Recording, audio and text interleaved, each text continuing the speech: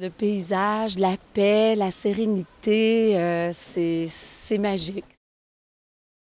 Les fameuses montagnes qui tombent dans le fleuve Saint-Laurent, qui sont extraordinaires. On s'en va sur le quai, on voit des baleines, c'est vraiment extraordinaire. On n'a pas besoin d'aller très loin pour voir qu'est-ce qu'il faut voir.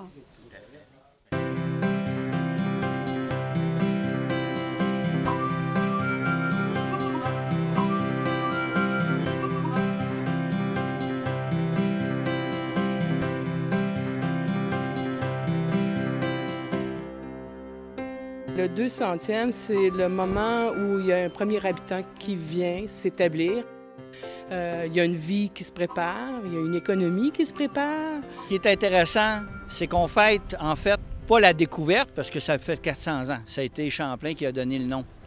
Mais on fête surtout le premier citoyen qui est arrivé il y a 200 ans. C'était euh, une concession qui avait été octroyée par le seigneur euh, Malcolm Fraser, pour faire dans cette époque-là des moulins euh, à bois, entre autres pour les navires, la construction. Puis on rappelle, le Seigneur, c'est après euh, évidemment la prise des Anglais et la seigneurie qui avait été euh, mise. Puis ça a pris du temps avant qu'on développe le côté, je dirais, de l'est de la, ville d'Amalbé aujourd'hui, mais qui est, deux grandes seigneuries. Et on fête, dans le fond, le premier citoyen. C'est important de faire, de sentir l'apport de ces gens-là qui sont venus dans un milieu difficile. On parle aussi de l'agriculture à l'époque, la foresterie. On parle des gens ici qui sont des marins.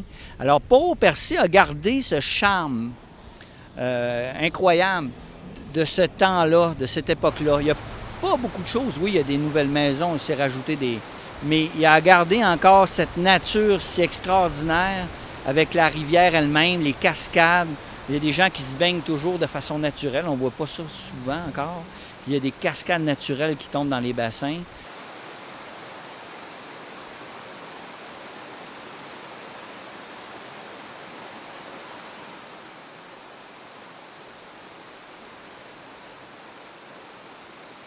Moi, je suis native de Port-au-Percy. Et euh, depuis deux ans, j'ai acheté une petite maison ici à Port-au-Percy.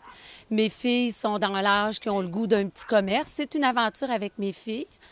En vue du 200e, il va y avoir beaucoup de touristes. Fait qu'on voulait offrir des, des, produits euh, faits à la main, de l'artisanat de des gens d'ici. Puis euh, on se promène, on se promène ici, sur le quai, on va vraiment où ce que le touriste est.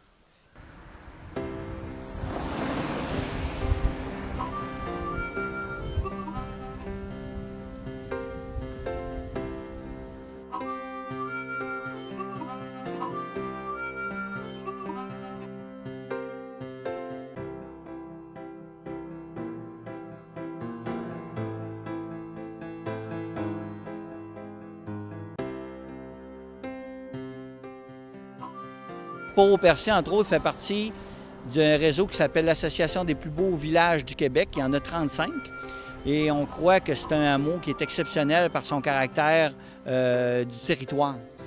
La vision qu'on a de plusieurs kilomètres euh, sur le fleuve Saint-Laurent, l'île euh, aux Lièvres, entre autres.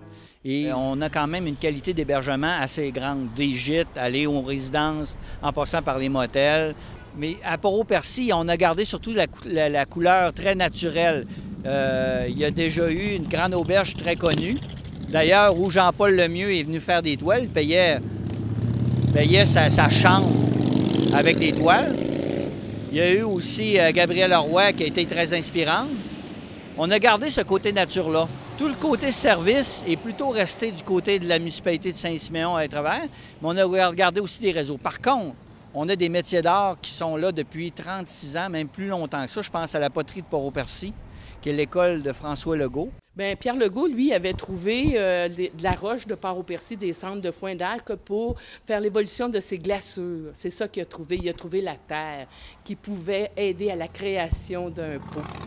Alors, euh, c'est vraiment intégré dans les racines de Port-au-Percy. Bien, un peu comme en Europe, les artistes vont toujours dans les endroits où c'est le plus merveilleux. Puis Port-au-Percy apportait cette euh, dimension-là. Alors, euh, je pense que quand Pierre Legault est venu s'installer, il, s'est laissé inspirer par sa femme, qui venait quand elle était jeune, et il avait décidé de venir finir, en fait, de venir s'établir à Port-au-Percy pour s'en inspirer et faire ses recherches en glaçure. On pense aussi au Persifou qui est, présent, qui donne aussi des ateliers. Avec la, poterie de Port-au-Percy donne des ateliers. Les côtés métiers d'art, céramique, poterie est présente sur les lieux ce qui fait qu'on peut trouver des activités intéressantes pour toute la famille d'ailleurs. Il y a quand même une exposition qui est, elle, à la gare maritime euh, du, euh, du, traversier euh, Rivière-du-Loup-Saint-Siméon, qui est là jusqu'en septembre qui va présenter des artefacts de ce qu'était la vie de Port-au-Percy il y a 200 ans, mais d'hier à aujourd'hui. On a eu l'acquisition de le, parc marin. Vous allez avoir toute l'histoire de M. McLaren.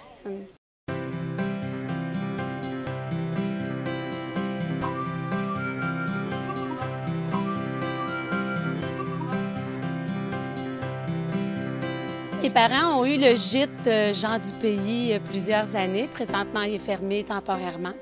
Ma mère est décédée en janvier et mon père, 89 euh, ans, a dû se résigner à fermer le gîte, puis en attendant de prendre des décisions. Mais il revient ici régulièrement, dans son petit coin de pays, près du fleuve. C'est vraiment, c'est vraiment un endroit qui mérite le détour.